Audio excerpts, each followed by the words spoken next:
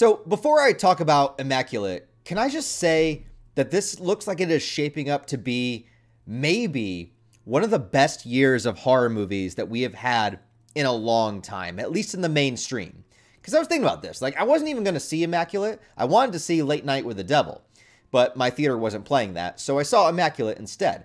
But still, both of those horror movies coming out right now. We have Alien Romulus, which looks like it's taken Alien back to its horror roots. There's Terrifier 3 coming out this year. There is uh, that movie Longlegs. I have no idea what's going on with that. Nicolas Cage is in it. That looks awesome. We have Robert Eggers making a Nosferatu remake. We have uh, the third movie in Ti West, uh, X Maxine, or uh, X Pearl, and then Maxine. That comes out this year. Uh, I know I'm missing more. I think I saw, I saw, a trailer for that movie Abigail, which looks more like a horror comedy, but Melissa Barrera's in it, so you know I might go see it for that reason. But besides that, I'm sitting here thinking about how crazy it is, just the amount of horror movies that we're getting, and I know I'm missing more. I know there's other big ones coming out this year too. I, dude, my fingers are crossed. This might be one of the best years of horror in the mainstream for a while. But Immaculate is a movie that I heard a little bit about. It stars Sydney Sweeney, and I know she's been kind of all over recently. I've never heard of Sydney Sweeney before the year 2023, and now all of a sudden she's just been everywhere. And I have to be honest, I have never watched anything with Sydney Sweeney in it, okay? I might have done a few Google searches here and there for research, but I've never actually watched any movie that she was in until now. This is the first movie I've seen her act in. And I, you know, I got to admit, I'm on board. I'm on board. She was fantastic in this movie. Um, and I think that this movie is carried so heavily by her and so heavily by her performance. There's kind of a lot of characters in the movie, but most of them are background characters. But everything is through this character's perspective and the things that she's going through. And the things that she is going through in this movie are incredibly psychologically damaging, not to mention the physical aspect of things that she has to do throughout the film.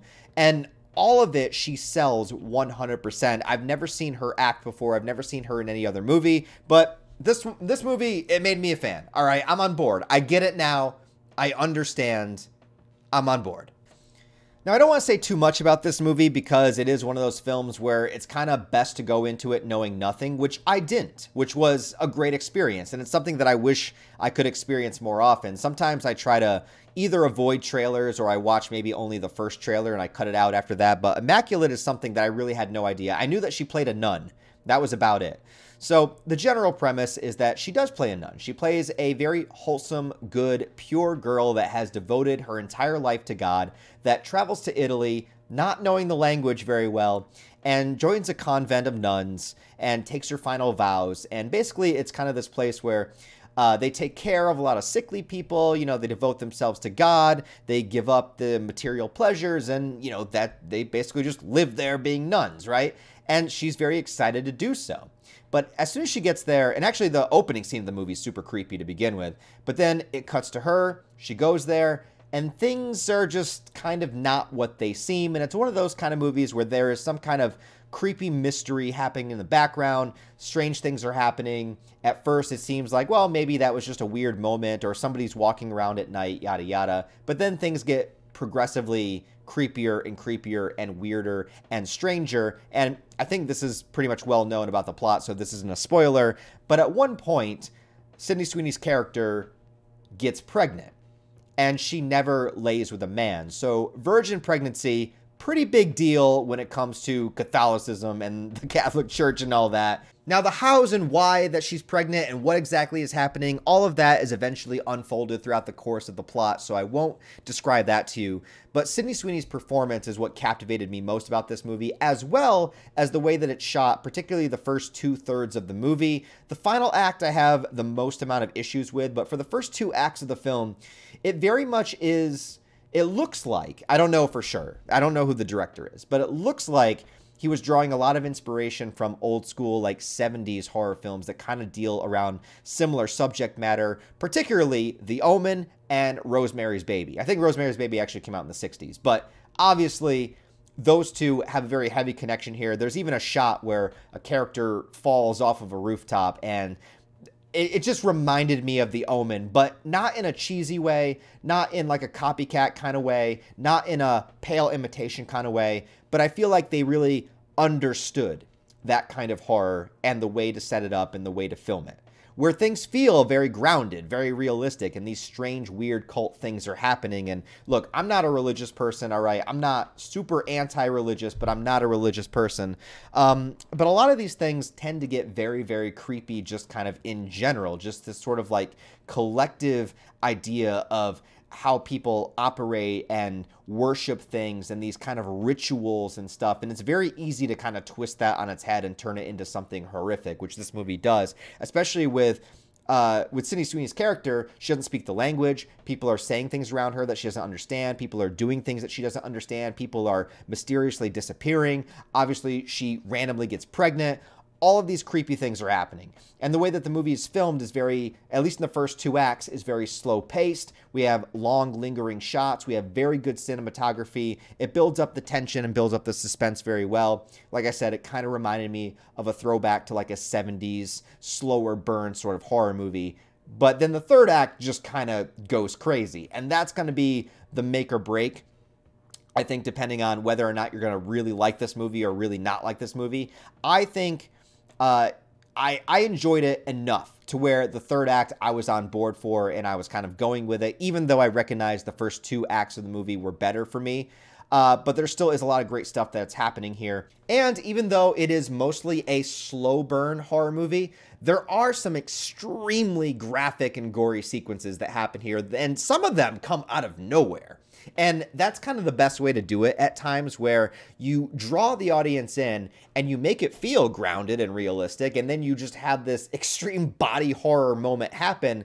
And it just makes you think, like, what the hell is going on?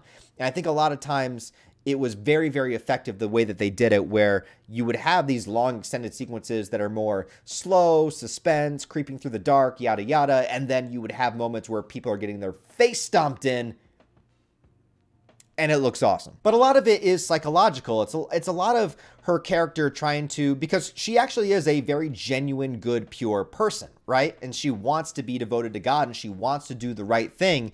But then it's like everybody else has this weird twisted subversion of this uh, belief and like what they want and then viewing her as this sort of, sort of uh, virgin mary like figure as time goes on and she tries to figure out a way to escape the situation and obviously you know they do the kind of the trope where it's like well we don't really want you to leave because we want you to be safe and then you know people start acting out uh, and then people start di- disappearing, like I said, and uh, or getting maimed or something really bad happens to them. And so she's slowly figuring this out, but she's got nobody on her side, and that's the thing that makes it uh, makes the tension work so well is because she feels so isolated. It's like, who does she talk to? Who does she confide in? And you're in this situation where you're supposed to be able to confide in God because you're in this, you know, convent. Like everybody around you is religious. Like you should be able to open up and talk. You know, there's confession booth scenes and stuff. But it gets to a point where it's like, I, I can't trust anybody. I don't know who to talk to. I don't know what's going on with me. There's a really effective sequence that actually is in the third act where they are going through sort of this underground cavernous area with only a flashlight as the light. And it's done very effectively. It's not done poorly where it's like, oh, I can't see anything going on. They really utilize the light and dark of this scene very well with the way that it's filmed because uh, she's got the flashlight, but she doesn't want anybody else that she, to know that she's down there. So she keeps turning it off, trying to navigate the corridors. There are times where she turns the flashlight on and you see something really fucked up behind her that she doesn't notice yet. Um, my cat's inspecting my books down there. What's up? Say hi to Dracula. And she has some incredibly emotional moments that I could imagine are just really, really hard to perform as an actor, particularly the final sequence, which I think that if you've seen the movie, you know exactly what I'm talking about. Uh, I couldn't imagine doing very many takes of that because she goes to some extreme places in the final sequence where it's like, I, I mean, I, I don't even know how you would ask an actor to do that multiple times. You know what I mean? basically, what I'm saying without spoilers is that this movie surprised me. Uh, as a horror fan, uh, you know, I love little gems like this that I wasn't expecting to like as much as I did. As somebody that's seen Sydney Sweeney all over social media and, you know, in all these interviews and stuff lately and all these memes, uh, it's nice to actually get to see her act and realize that okay she's legit like really really legit. Um, and i thought she was fantastic in this movie. If you're wondering what kind of horror this is like i said it's mostly suspense and build up there are some jump scares some very very effective ones but i don't think they're overdone. I think most of the horror is a very slow burn kind of thing. It's more atmospheric until you get to the final act where some really nasty shit happens and it can get a little over the top and a little weird but it's just going to depend on your sensibilities. Like if you're on board for the plot, all right, fine, the final act will work, but it could take some people out of it depending on how you feel about it. So that's kind of what I think. If you guys want to check it out, I'd say, hey, if you're looking for a horror movie in the theater right now that you're going to have some fun with, it's only 90 minutes, you're not going to be there for long, some great acting, great atmosphere, I'd say check it out. So I'm going to have spoilers a little bit just so I can talk about the ending and talk about what happens in the third act and my confliction on it. Although overall, I do really, really enjoy the movie. So this is spoilers now.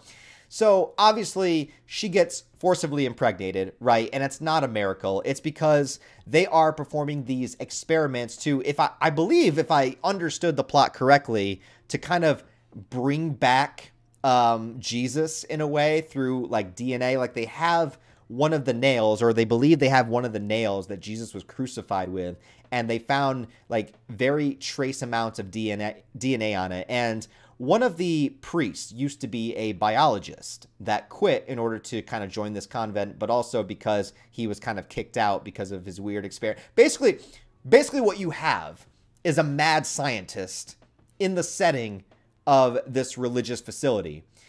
But what I liked about this was that the movie was not supernatural per se. So it, it kind of put a twist on the whole Rosemary's Baby sort of thing because what you imagine is that she's pregnant with like the Antichrist or something. And there's even like writing on the wall, like the devil will deceive and this and that, and like, you know, this weird cult ritual stuff. So you think it's going to be like this cult ritual where they're like bringing Satan back into the world or something like that. But really, it's just this like fucked up body horror genetic experiment. So that's kind of the thing where it's like, well, are you on board with that concept or are you not? I'm on board with the concept. I like that. You know, basically they infected her and like with this weird DNA shit and like forcibly impregnated her. Like, eh, you know, I'm on board for that. That sounds like a good time. The thing I wasn't so on board for was the actor that played the main priest biologist guy. I don't want to say anything bad about the actor because I, I, don't think I recognize him from anything else, but he did feel a little too over the top at the end. And I know the concept is over the top, but he kind of, I don't know if it was overacting or just maybe he was too much of like a villain. But the whole movie felt very grounded and creepy and atmospheric, but he very much felt like a villain, like I am a bad guy towards the end. And it was a little bit too much, a little bit too over the top. I don't know if it was the director's choice to do that. I don't know if it was like just the actor in particular, but something about it kind of bothered me. Like he was a little bit too much of like a villain rather than I don't know what I'm trying to say. Like it wasn't subtle. It wasn't subtle whatsoever. He was like, "Here is my evil plan." And this is what, I, even though he's doing it for what he believes is good, but I don't know if anybody understands what I'm saying. I felt like it was a little too over the top. That's basically it. And I love her various methods of escape. Like at first that she, you know, is trying to do things the right way. She wants to go see a real doctor. They won't take her. Uh, I, I called it right away in the theater, but it's okay. It doesn't bother me that I called it. But there's a scene where uh, she refuses to kill a chicken. Like she's like, I can't cut its head off. Oh, I can't do that. It's too, it's too gross. But then there's a scene where she's like covered in blood and it looks like, you know, she's giving birth early. So they have to take her out to go see a real doctor because the doc the church doctor's not around at the time.